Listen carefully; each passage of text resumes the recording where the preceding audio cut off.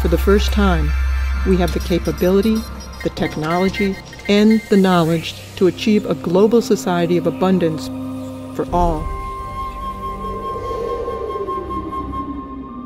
The question is what kind of world do we want to live in? If we continue as we are, the consequences will surely be dire. We are presently depleting natural resources 50% faster than the planet can renew. Are we incapable of anticipating and planning for our future? Are politicians competent to manage the world around us? Are we innately flawed in ways we can't change? We often hear our worst qualities are inborn. It's only human nature. The culture doesn't know any better. They don't know what forces are involved in shaping human behavior. Therefore, they say that's human nature. That's where they're wrong. So the science of behavior needs to be applied like the sciences of physics, chemistry, and biology have been.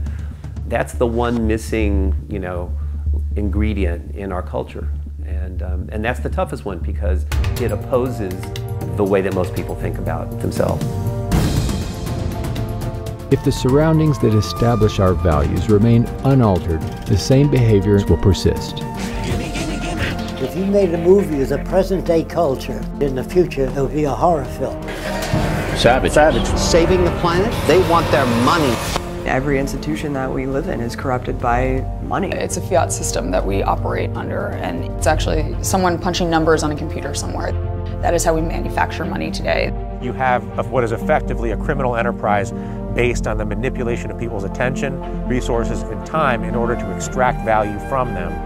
They're stealing money from us that way. They're stealing the result of our efforts and our labor the media has morphed into just uh, peddling the corporate interests of the money masters that control the political establishment. Those interests are going to be served first, and everything is going to be secondary, and, and that's the sad reality of it. Up to 40 to 50 percent of the people in our criminal justice system are black men, and black men make up roughly 5 percent of the nation's population. And I think he, people can discuss and debate the causes for that, and this goes to everything from institutional racism policing practices and that, but I think at the end of the day it all boils down to class, is I think that the reason racial minorities are disproportionately incarcerated is because they're also disproportionately poor.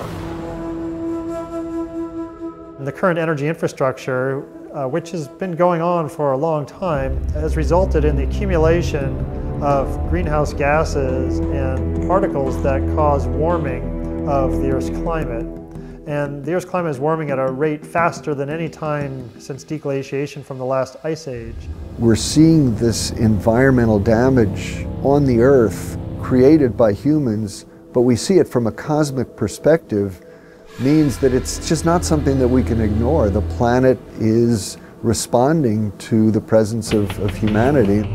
If you were to integrate the cost of war, the cost of pollution, the cost of environmental disruption, a gallon of gasoline would cost between 15 and $20 a gallon. We have to realize our planet does have a certain amount of regenerative power. There is a limiting carrying capacity, though. There's no end to the possibilities of the civilized world. It hasn't even begun yet.